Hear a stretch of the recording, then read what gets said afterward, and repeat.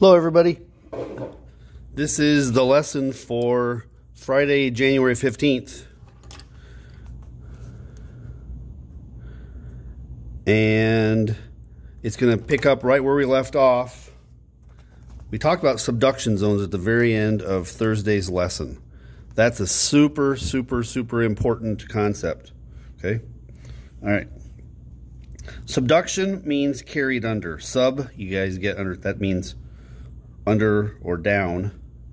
Duct means to carry. Okay. I don't know if you ever heard of an air duct. It carries air from your air conditioning or your furnace or whatever. Okay. Subduct means to drag down. Okay. And a subduction zone is important on Earth because that's where 80% of Earth's volcanoes are created at subduction zones.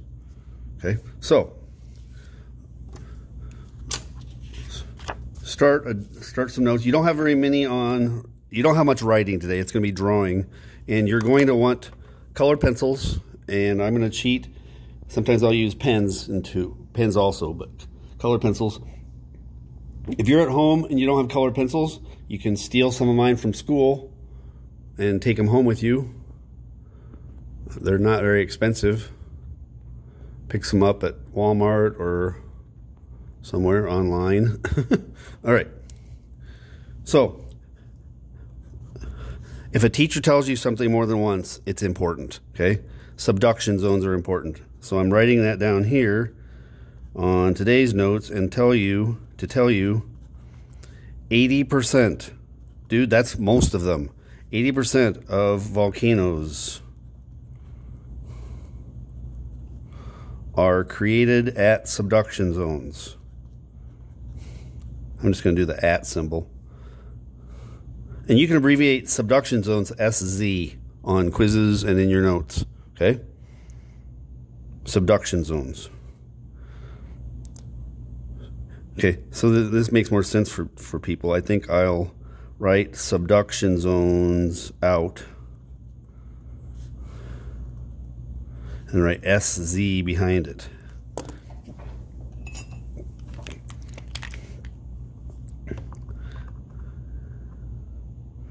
All right. Now, find the art packet that I gave you. It looks like this. I took these, I took the staple out, but it looks like this. It's page one, page two, page three. Okay? You, don't have much writing now. It's going to be uh, adding arrows and labels and a little bit of coloring. Okay? And you're not coloring because you're dumb little kids. You're coloring because it's more stimulating to your brain. It'll help make more sense. Okay, that's the same reason we use different colors on traffic signs. Okay, they're not all black and white. All right, here we go. I'm gonna on your. It wouldn't hurt in case I do a note check soon for you to write. Just write your name in there, and the date is the 15th. All right. So First things first. There's three basic ways that two chunks of Earth's skin can interact. If you got two chunks of skin here, okay, they they can either be running into each other, that's colliding, okay, or they can be ripping apart from each other, tearing apart, or they can just be minding their own business and just try, and this is going to be a different view, trying to go beside each other, different directions, okay. So they can run into each other, they can pull apart, or they can just go side by side. Those are the three basic ways. Okay? Colliding, spreading, and the fancy term for going side by side is transform or strike slip. Now, you're like, strike slip, that sounds weird. Okay? They run into each other and they kind of lock up. Okay? They they the example we're going to use in this class is, I have trouble getting my hands under the camera here. If you make two fists and you lock your knuckles together, and you try to slide one hand this way and the other hand the other, the knuckles lock up and it, they won't let it slide. This is strike slip, where I'm trying to make one hand go one way and one hand go the other, and all of a sudden it lets go. That's strike slip. Okay? All right. Now, I'm going to use red because it shows up nicely. Um, different people, different videos, different textbooks will use different words for colliding. You can also hear, hear it called convergent.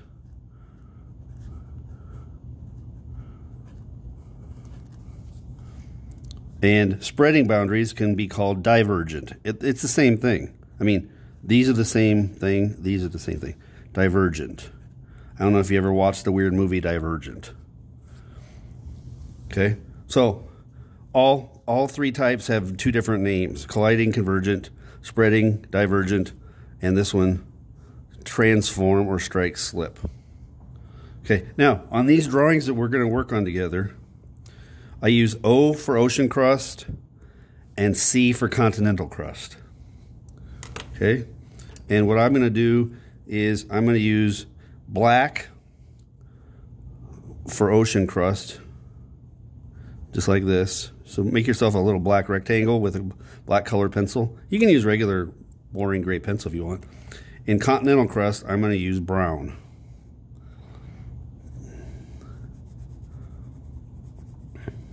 Okay, not because they're those aren't exciting colors, but they're realistic. Okay, um, I'll show you why.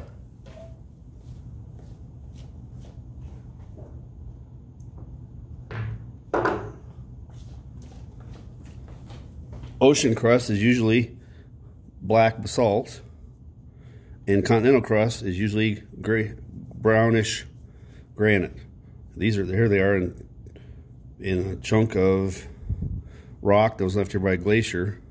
This is basalt with an igneous intrusion of granite. Okay, all right. That's why I use black and, and brown. All right, here we go with the coloring. Nice thing about doing this on YouTube is you can stop if and you know rewind if I say something that doesn't make sense or if I say something that goes that goes too quickly. Okay, all right. So take your black and color in ocean crust, black or gray like this. What you've got here in this diagram is two chunks of ocean crust running into each other. This is an OO colliding. Okay, an ocean crust and an ocean crust running into each other. So do this. Now, you realize I could just give you a color photocopy that was already done, but you would learn less. He's tricking us into making a textbook. Yep.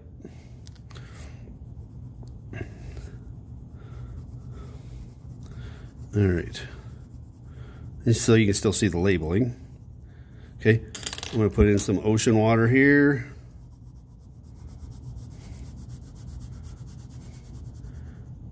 Should know what that deep spot is. Ask yourself, okay, self, what do we call those deep spots in the world's oceans? It's a trench. We spent a lot of time yesterday talking about the Tonga Trench. That. All right. Now, I'm going to use red for magma.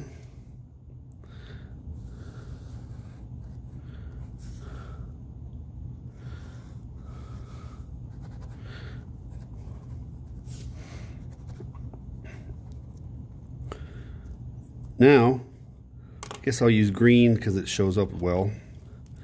This is the subduction zone.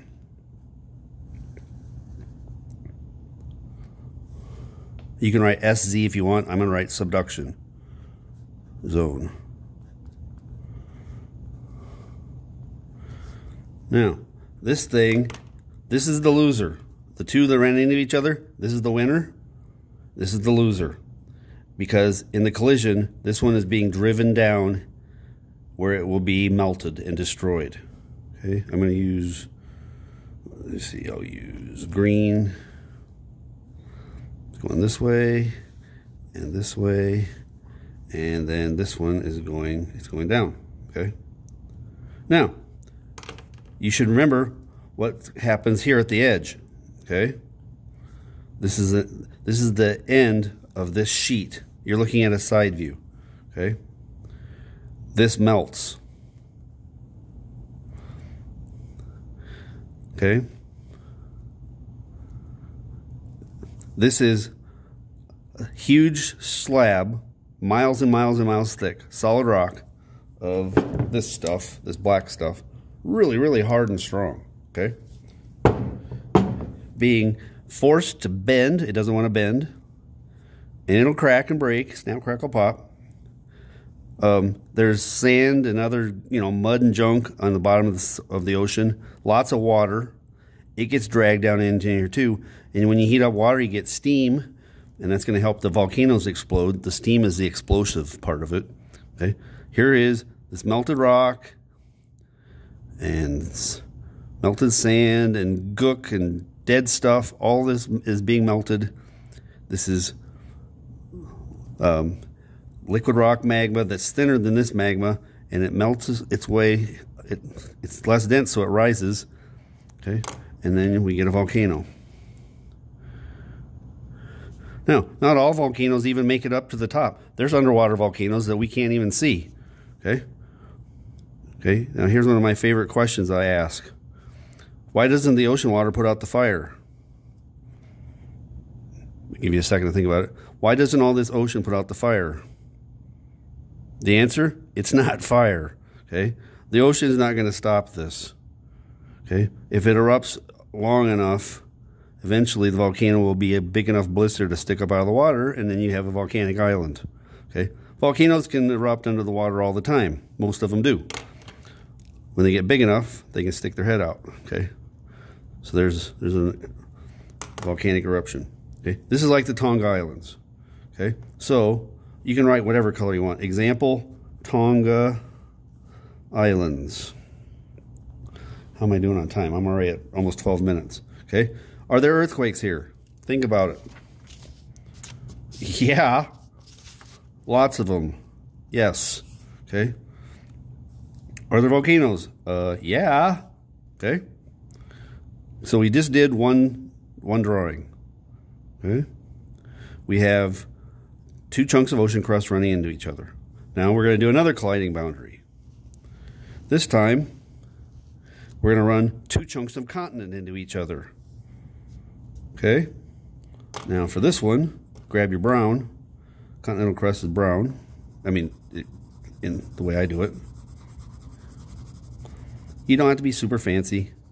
Or, okay, I'm just doing this in a hurry.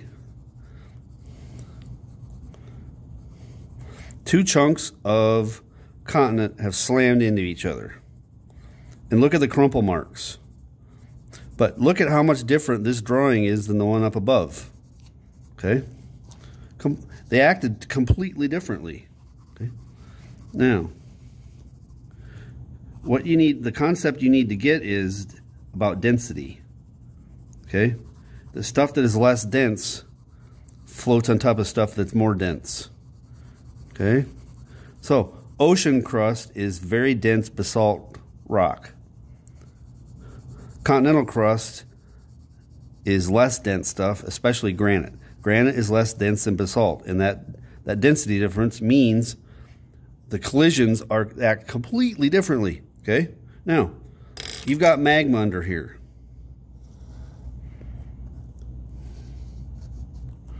Alrighty, magma and magma. Okay? These two chunks of ocean crust were dragged along. They're riding on top of floating magma. I mean, circuit, swirling magma, not floating magma. These two huge chunks of continental crust were minding their own business and got slammed into each other. But they don't go down enough to melt. There's no volcanoes here. Okay? They go up. They make really tall mountain ranges. Okay? So, would you, do you think you'd have earthquakes where you have all this collision? Yeah. Really bad earthquakes. Um, earthquakes that have killed 20, 30, 40, 50,000. I think the world record is almost a million people have died in a single earthquake in, in Asia. Okay?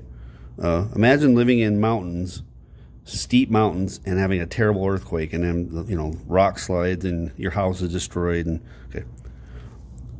So lots of earthquakes. No volcanoes. Let me show you where something like this can happen.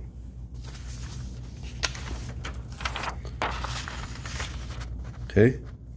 You've got India running in, India's this plate, running into Asia, this plate. Tons of earthquakes. And the world's most famous mountain range. Okay. The Americans say Himalayas. Most people in the world say Himalayas. Uh, Americans can make things, words sound pretty ugly sometimes. Himalayas. Okay. Himalayas is the way most people say it, but whatever. Himalayas. Nice tall mountains. Not known for its volcanic. There's no volcanoes in this kind of collision. Okay. There isn't any melting. All right. We're making progress. Okay. Now. So we did two chunks of ocean hitting each other, two chunks of continent hitting each other. What's the third type? There's only one other combination possible. One of each hitting each other. Okay? An ocean plate hitting a continental plate. Okay? I'm looking at the time. We're at 16 minutes. I'm shooting for about 26, 27 minutes. Okay? I don't have to do any Google Meets today because it's a Friday. So I'm grabbing my black for ocean crust. hopefully you can start predicting what's going to happen here. You should start recognizing, oh, hey, I know what's going to, he's going to add to this drawing. Because you should recognize what's happening right here. We got another loser. Okay. And here's the winner. The reason that won is because it's so it's so much less dense, it can't sink. Okay? Now, I remember I told you I was weird. It's the very first thing you ever heard about me. Okay? Most people like hot chocolate. Okay? Most people like hot chocolate. And most people like marshmallows with their hot chocolate. I'm weird. I like to play die marshmallow die when I have my hot chocolate. So I'll have hot chocolate and I'll put some marshmallows in there and then you know, of course, they they float like crazy. But I stab them with my spoon and try to get them, try to hold them down underneath so they melt faster, and then you know they pop right back up. So the die marshmallow dies when you know you have to keep trying to stab it with a spoon, which is not a very good stabber. Okay, this is the marshmallow. It's not going to sink. Okay, imagine having a hot summer day and you're in a pool and have a big chunk of styrofoam. You could if you have a big enough piece you could lay on top of it okay? Like a like one of those inflatable pool mattresses things okay? Okay? So think about how float how much styrofoam likes to float in water. What would happen if you broke it?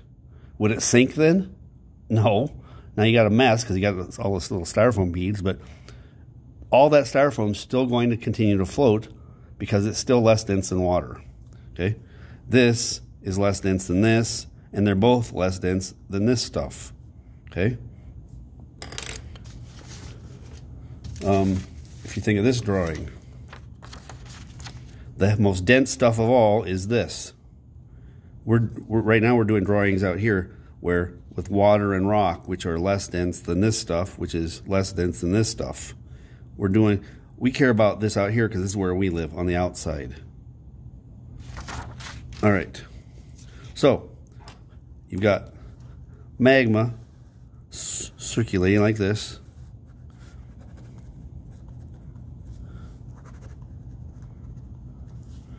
Okay, we've got what's happening right here. And got another ocean crust dying, subduction zone. You can write SZ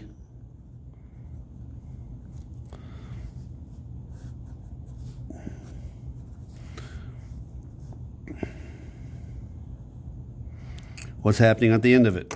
Volcanoes.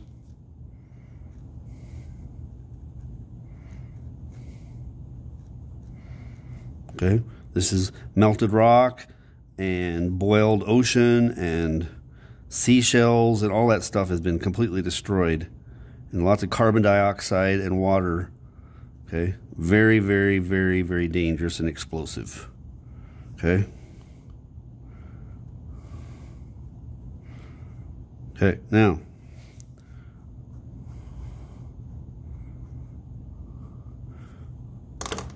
You have very tall mountains and volcanoes. Ooh, extra yummy. Okay. Some of the most famous ones of those are along this boundary. We've got earthquakes and volcanoes and the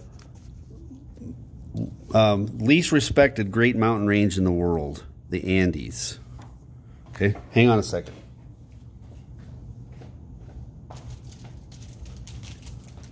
You like these? The Andes. These are really yummy little chocolate and mints. But notice the the symbol, the Andes. Okay, so you got great big mountain range with regular mountains mixed in with volcanoes. So here we go. Example, Andes, which that's the edge of South America. Earthquakes, oh yeah. Some of the biggest earthquakes in world history. Like 9.2, I think, on the Richter scale. Okay. Volcanoes, yeah, lots. Okay. Um, now, did you notice anything else in this drawing?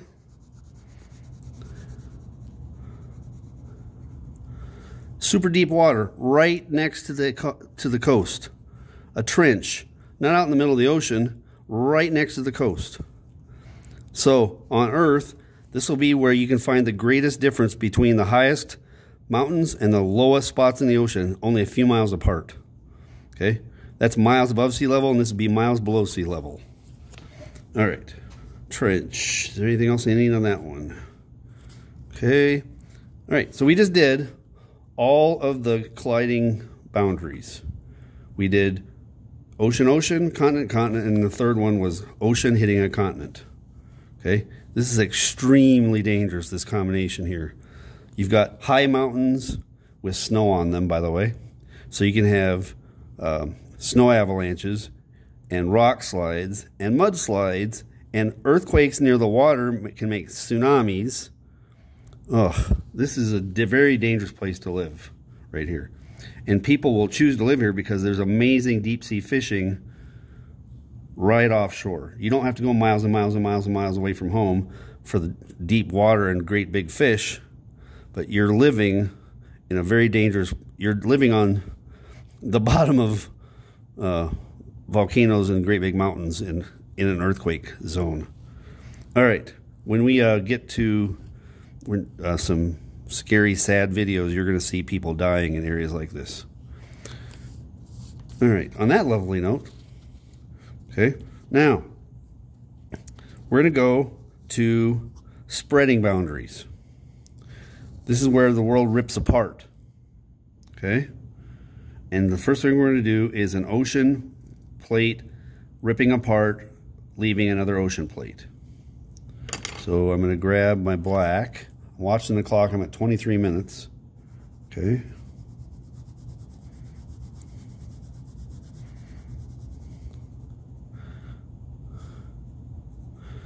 Now this is, I'm recording this for Friday, and then I, when this video is done here in a couple minutes, I'm just to keep on going and record Monday's video because we're to continue this art packet. I'll get two for the price of one because it's supposed to be quite a bit of snow tonight, and I don't want to feel like coming back over here tomorrow. All right, so here's two chunks of ocean crust. All right, ocean in there. And ocean. And I'm to put the water on it.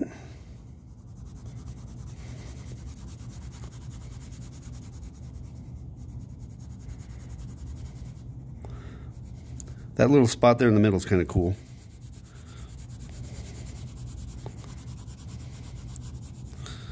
All right. Now, remember, this is where the world is ripping apart. It's actually growing. Okay? In the the first three examples, it was where the world is losing some of its skin, is recycling it. This is where new skin is being created. Okay? On the first three drawings, I kept, you had arrows that were coming toward each other. Now this is the opposite. This is where magma is going in opposite directions like that, away from each other, magma. And some of it, of course, is trying to get out. Okay, and let's see. Would you have earthquakes here? Yes. Will you have volcanoes? Yes. Now, I'm going to grab my brown just because it'll be consistent.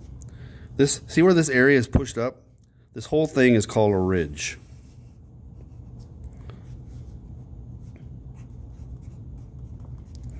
As in, whoop, whoop, whoop, the Mid-Atlantic Ridge, which is found in the middle of the Atlantic, this thing. Notice the arrows are going away from each other. Okay, the middle of the Atlantic Ridge. Now, the thing right in the very middle of it is called a rift. Right there. Ridges have rifts. R-I-F-T. Like that. Okay. Example. Mid-Atlantic Ridge. I better stop there. It's at 26 minutes already. Okay, let's see. Do I want to stop? Let me show you this video clip.